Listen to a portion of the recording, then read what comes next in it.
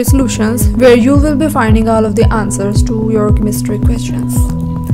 So today's question is why hydrofluoric acid is weaker than hydrochloric acid? What is an acid which is basically a proton donor and electron acceptor or the one which dissociate to give proton or hydronium ion? So we will move towards uh, the answer by taking the concept of acid as a proton donor that uh, if it has if the molecule has more tendency to donate proton then it will be a good acid otherwise it's not. The two factors to determine acidity are bond strength and bond polarity. So in such a case, when we are comparing the acidity of two elements belonging to the same groups of periodic table. Both are halogens both are of the same group of the periodic table.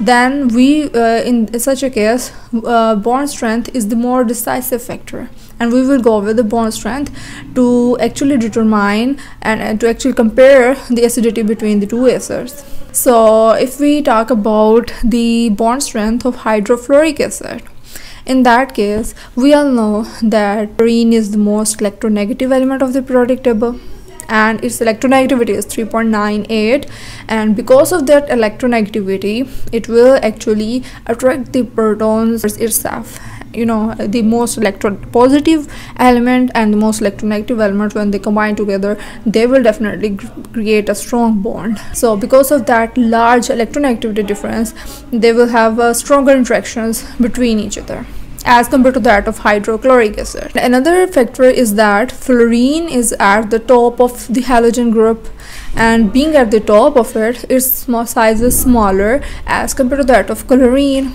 and being smaller in size it will have more compatibility with the hydrogen while forming bonds because of the higher electronegativity difference and smaller fluorine size there will be the greater bond strength in hydro or hydrogen fluoride as compared to that of hydrochloric acid. The strong bond between hydrogen and fluorine of course hydrofluoric acid would less likely to donate proton.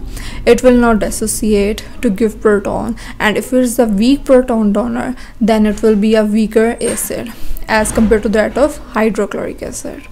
And other factor of uh, stronger bond strength in hydrofluoric acid is intermolecular forces in which we can see that of uh, hydrogen atoms of each uh, hydrofluoric acid uh, molecule is actually entrapped between two fluorine atoms.